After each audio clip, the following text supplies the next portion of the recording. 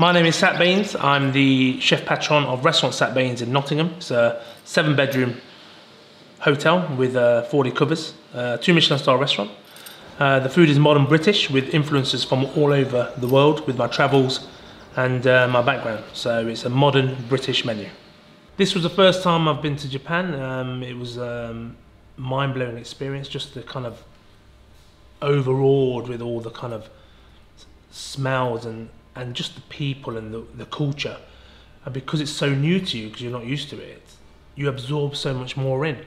So when we came back from Japan, there was things going in my head all the time. I'm very fortunate. I've always been creative.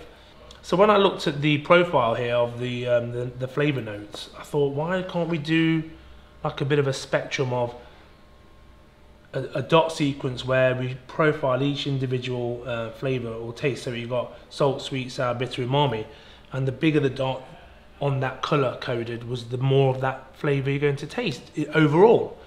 This first dish we're doing is uh, eel, smoked eel, hot smoked. Um, it comes from Lincolnshire, so not far from here. And then with the, the hot smoked eel, it comes in uh, whole. We take it off the fillet, take the skin off, and then we infuse that, make an oil, make a mayonnaise, and then to give it texture and acidity, so it's quite fatty. So you've got in there some diced apple. Again, I'm trying to add some texture. We've got some little crisp bread, and what that will do is um, it's going to give the dish some crunch. We've got here some eel mayonnaise, and this is made from all the the skin and the, the bones that we've actually infused in oil and then make a mayonnaise out of it. So you just want enough to give it a little binding. You, again, we've got to watch the salt here because it's quite smoky and it's quite seasoned, so it's hot smoked. So the eel, we don't want to over season that.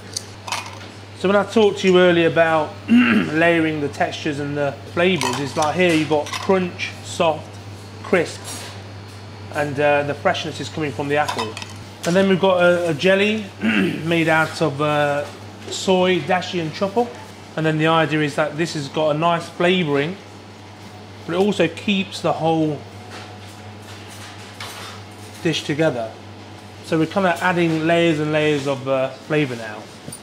And I'm just going to put some little bit of the actual eel mayonnaise. And then we've got some pickled radish. Mooli, daikon, whatever you want.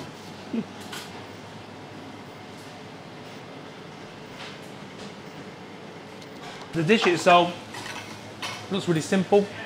It's kind of almost hidden all the actual eel underneath the truffle jelly and the actual turnip. To finish this sauce kind of brings it all together.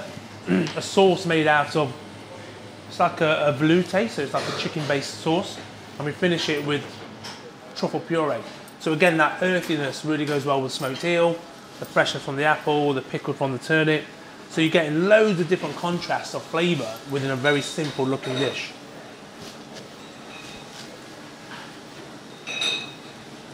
So then the truffle, it's got this incredible deep flavour of that earthiness you get with truffles. And for me that's a real good partner to go with the eel. So then at the table,